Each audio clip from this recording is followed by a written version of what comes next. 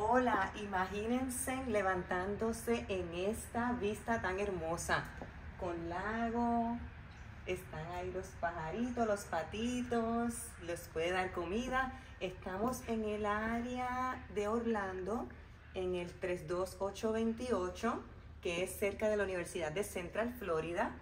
Esta casa tiene tres cuartos y dos baños y está completamente renovada. Está hermosa.